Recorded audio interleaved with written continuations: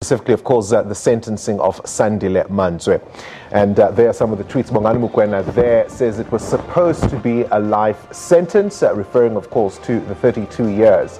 Uh, what is the difference between him and Oscar Pistorius before the eyes of the law shows money overpowers justice?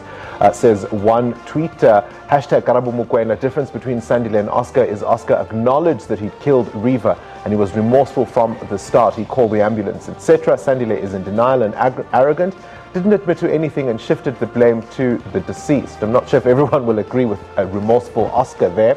Uh, says uh, he deserves a life sentence because he killed her on purpose, and the worst part is that he shows no remorse. Banele, uh, on the same theme, men, can we please start being physically active against women abuse? Enough is enough. All we do is we comment on Twitter, but nothing is done physically. The time is the time to act is now.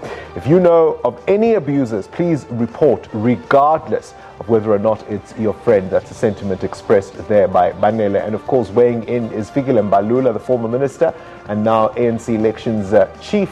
A young woman left her boyfriend, who later killed her for, for leaving him. To those who always ask, why don't you just leave him?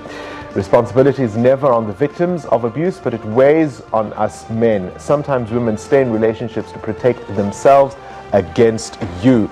Uh, those are the sentiments that we are seeing on Twitter around this. Uh, obviously, some discussion and some education, I suppose, uh, needs to be had around what a life sentence actually means uh, so that we can at least clear up some of the confusion. That's what's on Twitter.